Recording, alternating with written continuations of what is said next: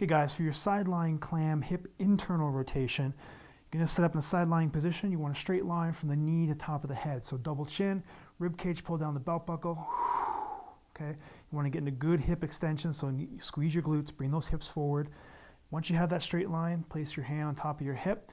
You're to pin your knees together this time, and you're to lift your top foot off of the bottom foot and then back down. Again, the key here with this one is keeping good pelvic alignment here. So as soon as you come up and you start to roll forward, you're done. So just go as high as you can before that hip starts to roll and then back down.